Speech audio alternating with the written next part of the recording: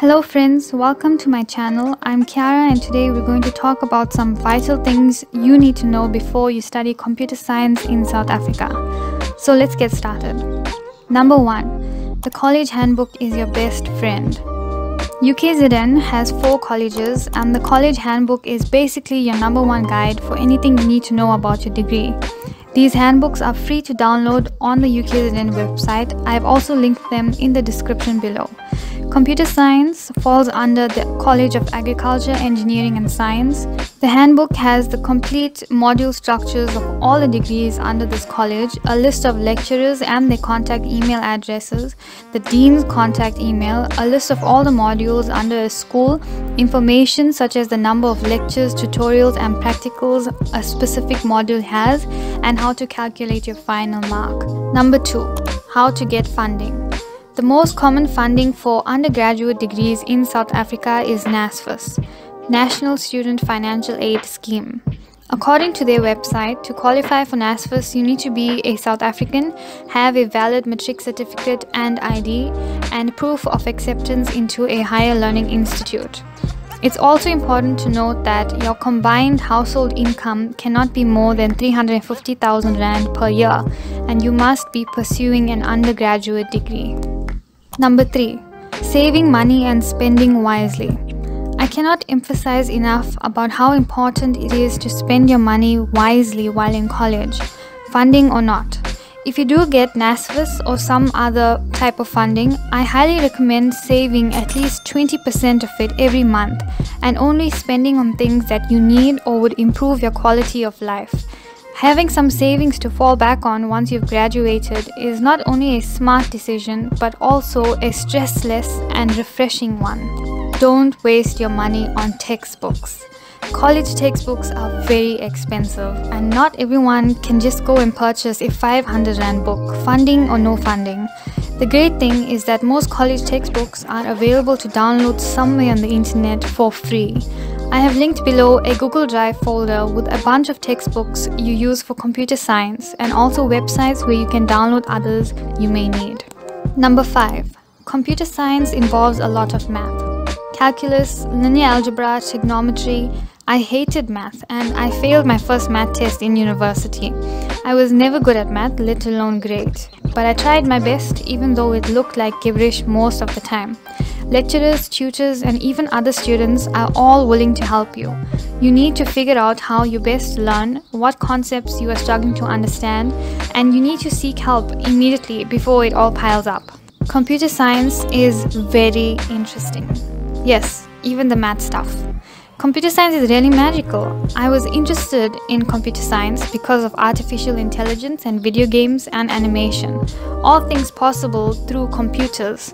If you are here because you love video games or animated movies and you want to create something like your inspirations, then you will not regret studying computer science. Number 7. The types of majors and streams of computer science in UKZN. Your major influences the modules you will do in third year. Within computer science, a student can major in comp and IT, or comp and stats, or comp and math, or do a double comp major. To decide your majors, I recommend researching what you want to do with a degree after you graduate and what are your own capabilities like. Some majors require that you have greater math skills, while others may focus more on something like databases or systems design. Number 8. Learn how you learn and organize yourself. With online studying, you can create your own timetable. Lectures are recorded for you to watch at your own time. What I do is I usually have four modules per semester, and to function best, I like to focus on one module at a time.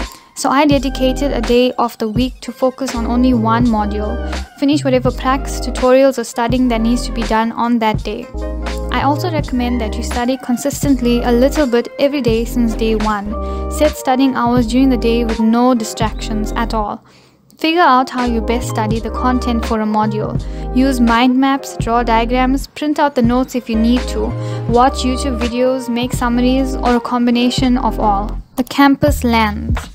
Because you're studying computer science, there are some programs and software that you'll need installed on your laptop or computer, such as IDEs like Wing, Eclipse, IntelliJ, Unity. If you don't have these resources, there are LANs, local area networks, on campus with rooms of computers already installed with everything you need and plenty of storage space. Number 10. Class Rep. Is it worth it?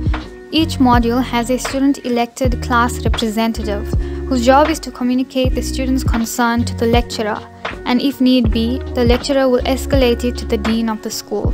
You can nominate yourself as a class rep for students to vote for you. Of course, it is additional work, so only nominate yourself if you know for sure that you are organized enough to handle being the middle person between your peers and your lecturer. Number 11. Group Assignments some modules in third year have group assignments. These can be a headache, especially if your group members aren't putting in as much effort as you or if you are the shy type of person. Usually, these assignments require you to either work in pairs or in a group of no more than five members. You require to submit your entire project and often a demonstration video and a written report as well. My advice for working effectively in a team, especially with strangers, is to get familiar with each other's style of communicating, find some common interests for you guys to talk about, and remember to be empathetic with each interaction. Number 12 How to become a tutor. In third year and above, students have the opportunity to apply to become a tutor for first or second year modules. This is a paid job. You get paid 4000 Rand for the entire semester that you were a tutor.